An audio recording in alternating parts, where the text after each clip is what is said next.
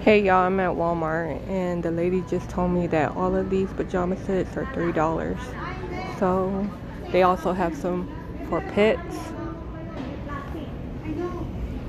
kids, uh, adults. You see, $3 y'all. So I'm definitely taking two pair right here. So you cannot beat that deal y'all. Look at that.